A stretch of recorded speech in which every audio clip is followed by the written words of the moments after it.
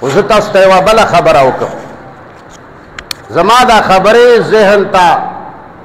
اچوی مسلمانانو ډېر رستو پاتې شوي یې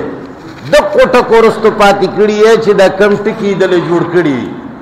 چې کچا قرآن ته قدم ور واغستو وي منکر حدیث دی مطلب چې قرآن ته څوک ور نږدې نه شي څوک په قرآن فوکس وکړي وي زندیق دی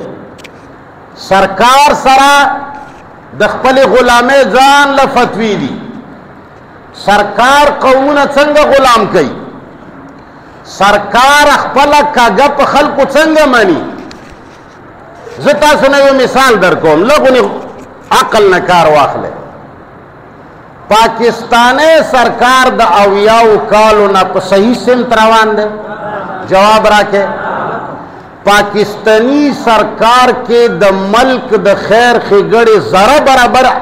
څه کمال شته یو حاکم د بل حاکم نه چرته اتانې زیاته خګړه د عوامو سره کړې ده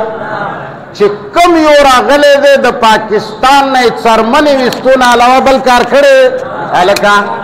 ستا فوجونه ستا پولیسونه او ستا ادارې دوی هندوستان والے دی امریکا والے دا او که برتانیا والے دا او که چین والے دی او که خپل عوام والے دي بل څوک والي دي دوی بل ځمکه یوا او لیش د چانه نیولې ده هیڅ قسم ته په دنیا کې یو کمال داسې نشته چې پاکستانی سرکار کې وي او یو کالو کې زمنګ دوا یا درې پیړې تیرې شوې دقه نه سړي زامن راځي او د نه سړي زامن ځي کارمي چیف که د آرمي مشران بدلیږي که د پولیس مشران بدلیږي یو فرعون ځي بل فرعون راځي یو د عوامو دشمن ځي بل د عوامو دشمن راځي یو د پاکستان دشمن ځي بل د پاکستان دشمن راځي یو د جیب غل زی او بل د جیب غل راځي بل څه پکې شته د خبرو کې دا غي باوجود چرته تر اوسه پورې چې چا دغه خبرو باندې نیوکه کړې ده او چا چې د دوی دغه بد ته بد ویلې دي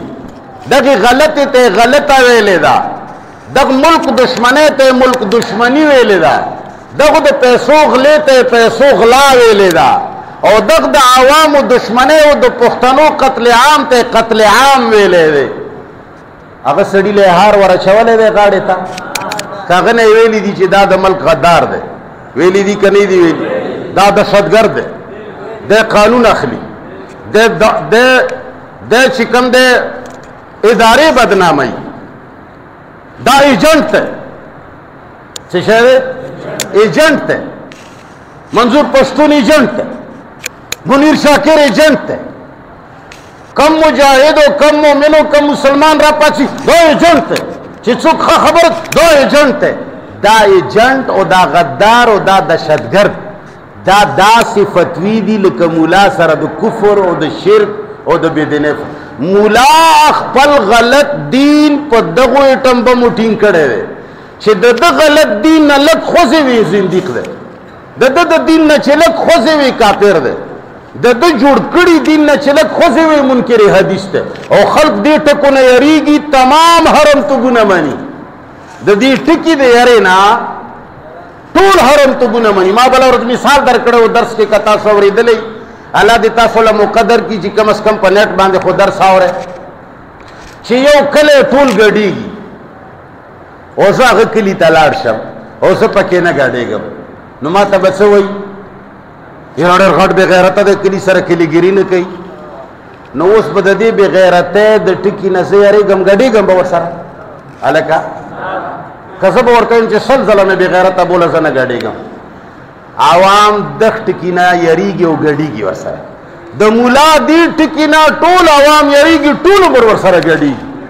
نه جی جا خو بیا کا پر کېګه ما خزي کا پر کېګه ما ناراضه راشه کتاو دی اور اور تر سره تاو یو کلی کې چې ټول خلک شراب څکي زه لاړ شم چې زه ورسره نه څکم ما ته به څه وایي بې ایمانه یې مړه شراب نشي څکه نو زه به د بې ایمانه د ټکي نه یارېږم شراب به څکم دا عوام یې څکي یاره جي کافر کې پلنکې شی چې ونه منې کافر کې دا جرأت په چا کې نشته چې د ته مولا ووایي چې دا مه وایه کافر به شي ورته چې مولي صاحب دا خو بېګنی زه کافر یم دا کوم خبره دي چې وکړه چې ته چې دا خبره مکو کافر بشي کدا کو پر وینو ز بیګنه کافر ما د شپې په سوچ کړی چې دا څه دا څه نه منم بس دا د شپې نه ما کافرو کې وشماره خو چې بیا ته سرسایه نه ونه وای د بدویم ورته دی چې مسلمانې مسلمان سرسایه راوړ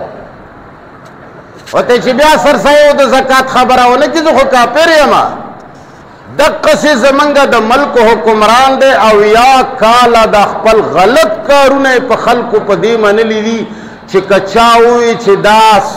سیاستدان او دا حکمران غل دی نو فورا وایي چې دهشتګرد دی ونیسئ هغه وایي چې نه نه نه جي دا خو ډېر اعلی خلک جي دا خو ډېر زمونږ فرمي ایجنسۍ کې څوک نیولی و هر علاقې ولا خلکو یې چې دا زمونږ د علاقې متل دی خو خدای علم دی چې د کمې وی به وی چې سړی ونیولو وی چې تاسو ته وکړو چې پوجان ونیو چې مونږ خو یو که طالبان خو وی هغه ته وی چې تا تاسو پیغمبران او طالبان صحابه دي مونږ د خر ځامن او یا کالا په دې قوم باندې سرکار په دې بغس فتوو باندې د خپل حرامي توب منلو ځکه چې فورا درته وایي چې غدار او خلک دا نشي برداشت کوي چې زه غدار یم او زه ایجنټ یم منګه ببانګې دوهل چغې وهو چې که د حکمران ناکامۍ ته څوک غداري وایي نو موږ غداران که د دې پاکستاني سامراج او حکمران او دغه ادارې چې دا څه کوي پښتون سره چې ما نه یونټ په ارزانه اخلي بیا هغه پیسې نه رکوي او په ما یې ګران خرڅوي غدار مې بولې غدار که ایجنټ مې بولې ایجنټ که کافر مې بولي مولا کافر ته به سبا زما دروازې ته ولاړې وې به چې دننه ننوځم مور سره دې ملاقات کوم زه به درته یم چې نه جي نه شي ننوتی ته به ما ته وایي چې ته خو ډېر بېغیرته سړی زه وایم چې نه جي زه ډېر غیرتي یم ننوځه ننوځه داسې غیرتی زه بالکل بالکل نه یم داسې غیر نه داسې مسلمان یم نه داسې حب حب وطن یم چې تا دې ډانګې راغستې او په پښتون دې مانډې او زه به درته وایم چې جی بالکل ویری ګډ نه داسې نه زه پښتون یم نه زه داسې پاکستانی یم نه زه داسې مسلمان یم نه زه داسې غیرتی یم دې ته که ته بې غیرتی وایې که ته غداري وایې که دې ته ایجنټي وایې چې څه شی ورته وایي او مکه مې قبول دی خو دا کار مسلمانه سړی ځان نه جوړ کا او یو کال نه په تا باندې څه روان دي او دیارلسو سوو کال نه په تا باندې د اسلام په نامه څه روان دي